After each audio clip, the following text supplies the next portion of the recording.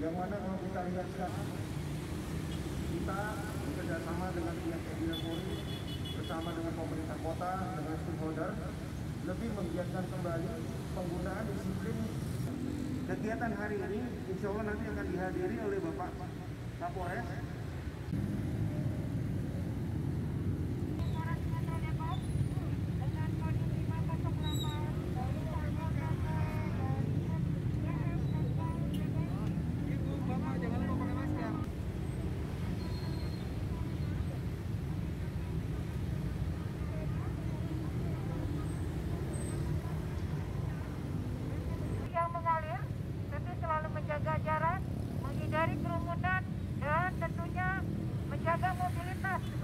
Terus dikurangi agar tidak terpapar COVID-19.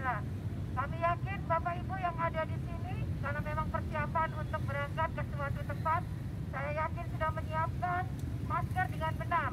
Namun demikian, dihimbau apabila telah sampai di kediaman, telah sampai di tujuan, untuk tetap terus menggunakan masker Jangan pernah bosan, jangan pernah merasa kebal dengan COVID-19.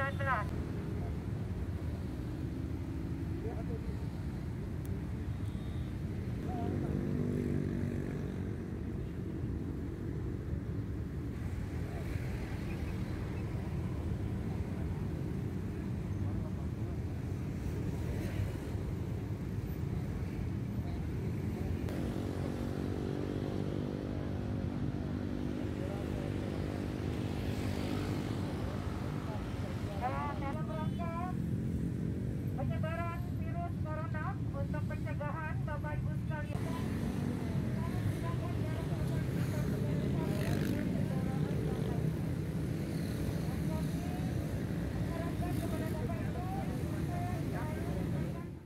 Kita bersama-sama dengan TNI Polri, Satpol PP, kegiatan kebijakan kampanyenya adalah pembagian masker. Kegiatan ini akan kita laksanakan setiap hari sampai kurang lebih satu bulan.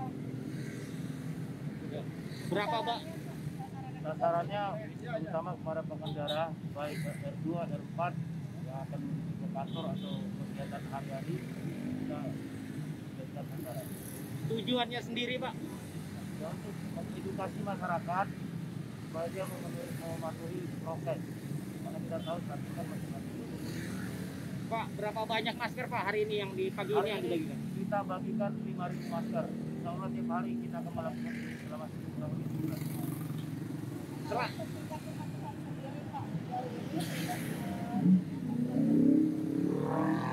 masalah tinggi rendahnya ini kita tidak bisa mengukur seperti tapi kita harus tetap berupaya untuk mengedukasi masyarakat. Jadi kita tidak boleh bosan selain di Margonda Pak, di titik mana lagi Pak? Nanti ada titik-titik berikut yang kita tentukan bukan hanya di Margonda sini saja, tapi nanti kita akan tutup ke bagian pinggir.